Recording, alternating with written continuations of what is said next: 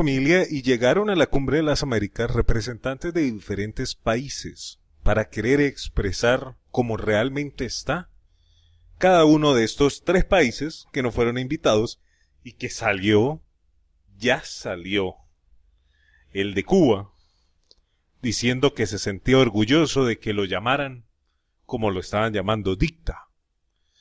Y dentro de poquito va a salir Diosdi, va a salir Nico, van a salir todos ellos diciendo, sí, nosotros también nos sentimos orgullosos que nos digan dictas, porque a ellos les gusta imitar a los demás.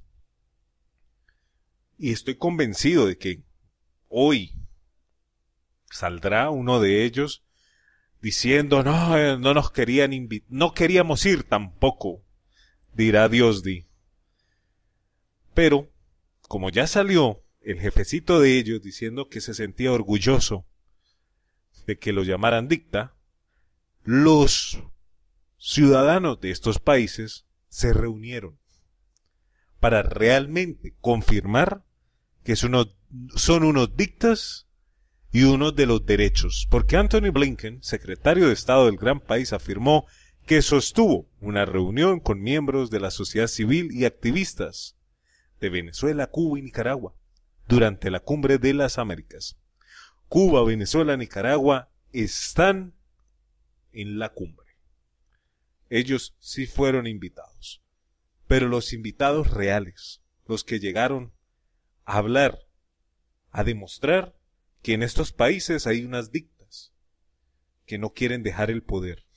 Además expresó que a su juicio miembros de la sociedad civil y varias ONG de estos tres países son más representativos que los regímenes que están instalados en estos países cuyos líderes fueron excluidos de la cumbre y quieren mantenerse en el poder sea como sea. Sencillo. Sencillo y directo. Así, ese grano pica y toca rascarlo, como dicen por ahí. Y es que eso me gustó, me llamó la atención, me llenó al ver que serán todos estos mismos que un día hicieron al país lo que hicieron, que tendrá que llegar el momento justo para ellos, porque salen muy orgullosos diciendo de que son dictas. Salen muy orgullosos diciendo de que no les interesa.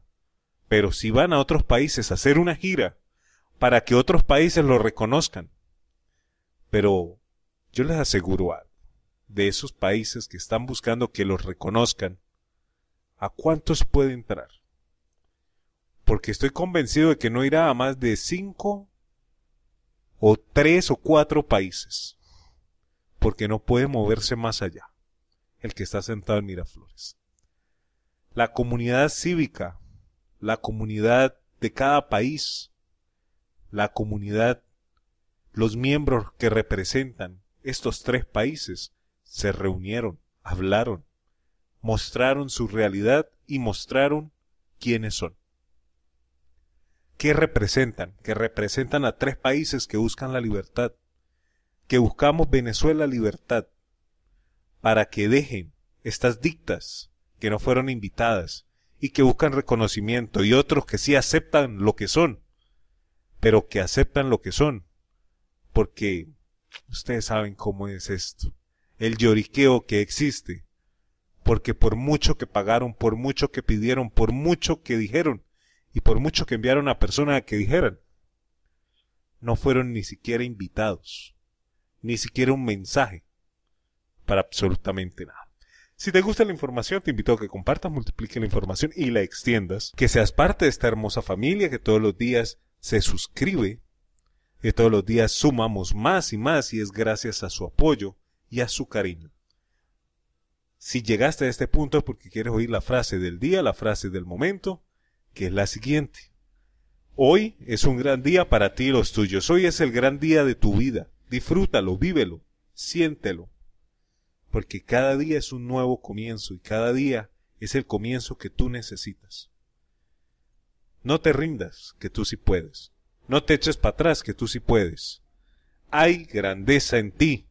Nunca olvides que eres grande. Nunca olvides que tú sí puedes y nunca olvides que estamos orgullosos de lo bueno que haces. Comparte, multiplica, extiende un abrazo y hasta una próxima.